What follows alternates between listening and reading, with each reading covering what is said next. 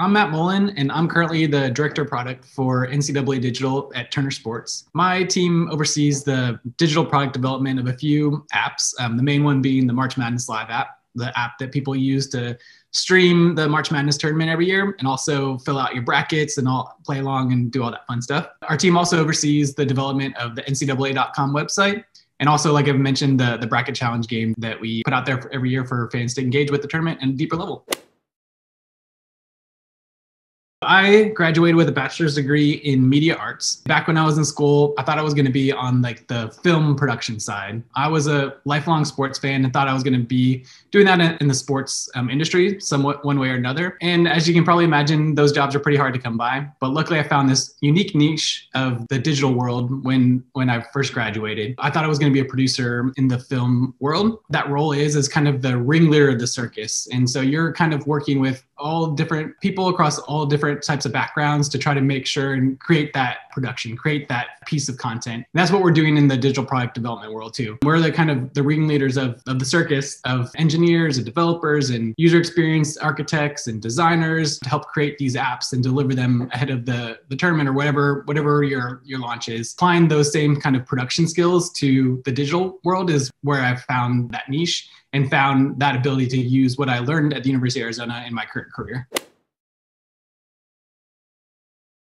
This interesting is a really unique one in the sense that, you know, when you're mixing entertainment and digital development, you kind of sit in this really unique crossroads of needing to fulfill unique jobs to be done with an app, right? You you're either trying to help people stream games or content that they love and that they want to fulfill their, their passions with or you're helping you know solve problems in their world like getting r- rides with uber or something like that. And so being able to kind of mix that ability to understand your user and what they're trying to go after with the ability to know how to get that job done is, is what you should be doing in this industry. And so ways to do that are just um, a lot of what we do on our on our team is a lot of competitive analysis and looking what's out there in the marketplace and keeping tabs on what new stuff is being launched and the great new technology fronts that are that are being explored and seeing how that can be applied to your user base and so really understanding who your user is and the role that you're trying to solve in their life is a really important one for someone who's trying to go into this industry and, and, really understanding what, what you're trying to do there. Some challenges, you know, being able to have that exposure and have that experience to, to launch stuff to the public is, is a hard one to get into and jump into. And so any experience is a good experience. Being in there and, and jumping in an internship and no matter how large or small that, that app is or the organization that you're jumping into,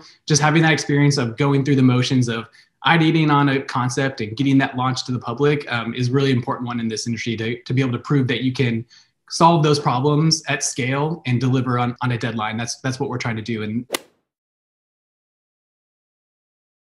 the reason I got this job all points to some time I spent at the University of Arizona, really getting into some student organizations. I was really involved with an organization called UATV3 back when I was at school, and that was the student run TV station that we had where we got to sink our teeth into what it meant to be in the, the sports world, right? We produced a sports talk show on a weekly basis and we're able to get in, get press passes for basketball games and football games and got to shoot press conferences and and piece all that together into this sports show that we did every year. You know, being involved early with these opportunities that you have on campus to kind of show and you're going to understand what your passions are, right? Well, the reason we did that that was that was hard work. We we were managing this TV show on top of all the, the workload that we had, but we, we love doing it. And so un- understanding and unlocking those passions that you're going to have, those are what you should convert into your career and, and what your lifetime role should be. And so I knew early on that that's what I wanted to sink my teeth into. Um, I mean, so being able to get that exposure and take advantage of all the opportunities you have on campus are huge. And then you get to point to all those components when you're you know filling out your resume or having an interview or looking for an internship. Like all that stuff starts snowballing into all the experience that you need to end up working the the passion or the industry that you want to